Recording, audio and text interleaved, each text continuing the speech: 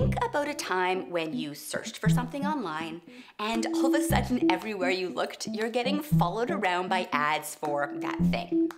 For me, it was collagen supplements. A friend asked me if there was anything behind these collagen claims for skin and gut health. So I did some searches, and all of a sudden my feed was taken over by smooth skin influencers touting collagen smoothies. These are the algorithms at work. And there's a major disconnect between what's amplified by algorithms and scientific credibility. Let's science it. Hey, welcome to Nourishable. I'm Dr. Lara. The reality is that these algorithms are dictating what content is getting presented to us, which video is up next on YouTube, which TikToks populate your feed, or which ads crop up on Facebook. We're constantly training these algorithms based on what we click, what we search, and what posts we linger on for longer. These algorithms are motivated to increase your engagement. And what increases engagement? Controversy, strong emotions, aspiration. Seeing similar content presented over and over makes it feel like these claims are well established. But here's the thing there isn't necessarily any connection between what my algorithm presents to me and scientific credibility. Scientific papers go through a rigorous process of peer review before getting published. Though this process isn't perfect, this vetting by qualified experts in the field ensures certain standards of credibility and is quite a contrast to the factors driving social media amplification. This can make social media a pretty murky place for seeking out credible and trustworthy nutrition information. So, what can we do about this? Along with a team of collaborators from the Tufts Clinical and Translational Science Institute and the Museum of Science in Boston, we have co created 10 tips to help you navigate nutrition information online. Tip number one watch out for the word cause or proven. It's quite rare in nutrition science to unequivocally prove that eating a certain food, nutrient, or diet causes or prevents a certain disease.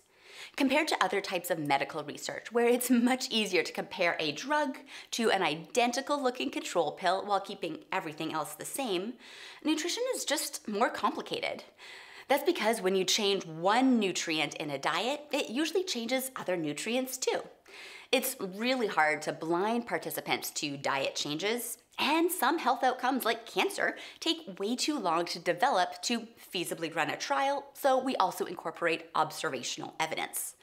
Plus, there's lots of variability in how people respond to dietary changes based on their genetics, behavior, and even the microbes in their gut. So, yeah, nutrition is complicated, but we can still look at the overall picture to get a sense of the relationship.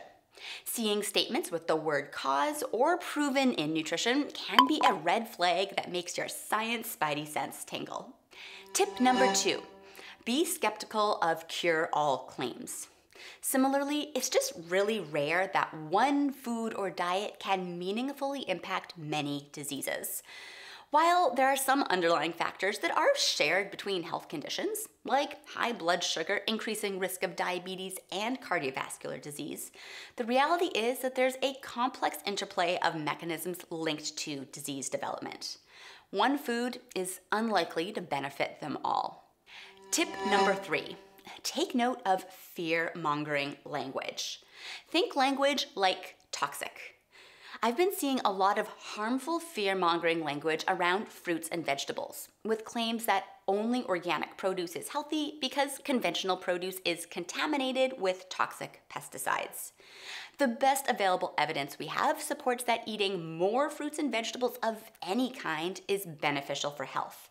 So, in my opinion, these claims cause unnecessary food fear and could shift towards displacing fruits and vegetables with other less healthy foods. Tip number four Are they trying to sell you something? Let's face it, we live in a capitalist world.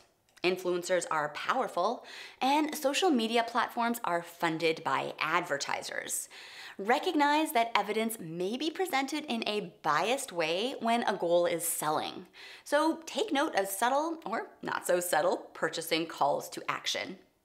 Tip number five be wary of extremely restrictive diets. There can be lots of problems with extremely restrictive diets that tell you to completely eliminate certain foods or entire food groups. They're really hard to stick with in the long term can lead to inadequate intake of important nutrients, worsen some health metrics, and may distort your relationship with food. Case in point, juice cleanses. Although they often yield rapid weight loss, it's not a sustainable way to eat in the long haul. Strong evidence supports that humans can thrive on quite a wide range of dietary patterns, and that greater diversity of plant foods in particular is associated with better health. Tip number six consider whether the evidence relies solely on anecdotes. In science, we often say that anecdote is not evidence, but humans are storytellers. One person's experience may be meaningful for them, but it doesn't tell us the whole picture like a well designed research study can. So, when looking at before and after pics of someone's nutrition tweak, remember that there may be many factors that changed in their life. Consider whether this shift is sustainable in the long term, and recognize that there may be both positive and negative health impacts. What you'd really like to know is whether there are consistently health benefits when many people follow it. Which leads us to tip number seven. Are there references to credible scientific research? Linking to research studies can help support claims with scientific evidence well designed studies that randomly assign participants to different diets for a period of time and then measure what happens, or ask large groups of people about what they eat and then follow their health status for many years, can shed light on the relationship between nutrition and health. But a note of caution just because you see a study cited doesn't mean that you can automatically trust the claims. There's some nuance in what kind of conclusions you can draw from different types of studies. If you want to nerd out on study design, check out my Hierarchy of Evidence video series. Plus, it's important to consider who funded the research, since studies funded by companies may have interest in biased interpretations. Tip number eight if research is referenced, who or what were the subjects of those experiments? Cells? Animals? Humans? Remember those collagen supplements? When I dug into it, most of the studies were feeding mega doses of collagen to hairless rodents exposed to super intense sunlight. It's tough to say that those findings are comparable to a sunscreen wearing human adding collagen to their smoothie, hoping that it doesn't get digested in their stomach acid and automatically goes to the wrinkles in their skin. While human studies are generally better for supporting claims, it's still important to consider how similar those humans are to you. For example, if a study was performed in participants who all had a certain disease, but you don't have that disease, then it's unlikely that the results would apply to you.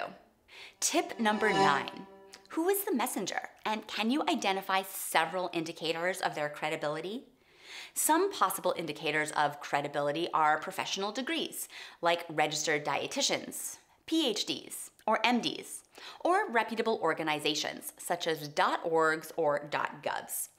Though it's important to emphasize that credibility doesn't hinge on just one single factor like a professional designation, because there's a fair share of folks with letters behind their name promoting pseudoscientific claims.